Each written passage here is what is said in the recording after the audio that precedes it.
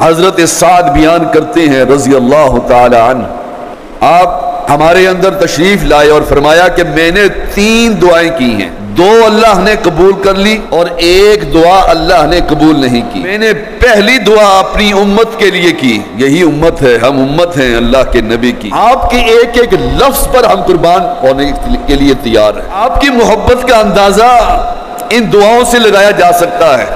कि नबी को अपनी उम्मत से कितना प्यार था। बोलो फेल को देखते हुए हमें अंदाज़ा लगाना चाहिए कि हमें अल्लाह के नबी से कितना प्यार है। नबी को कितना प्यार था।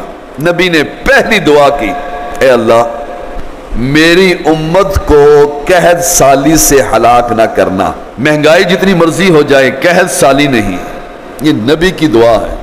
पिछली उम्मतों में कहत साली आई और लोग हलाक हो गए। नबी को कितना प्यार था अपनी उम्मत से। कि मेरी उम्मत को कहत साली से हलाक ना करना। दूसरी दुआ की।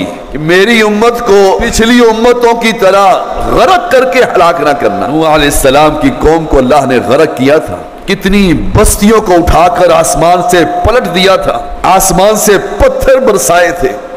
तेज हवाएँ चलाई थी। कौमों की कौमों को अल्लाह ने तबाह कर दिया। ये नबी की दुआ है हमारे लिए कि मेरी उम्मत को गरक ना करना। दो दुआएँ अल्लाह ने कबूल कर ली और एक दुआ की थी, अल्लाह ने कबूल नहीं की। आपने फरमाया, मेरी उम्मत में, आपस में लड़ाई, मुखालफत, ये ना करवाना। अल्लाह ने ये दुआ कबूल नहीं की। और उस वक्त से ये लड़ाई, झगड़ा, फसाद शुरू है।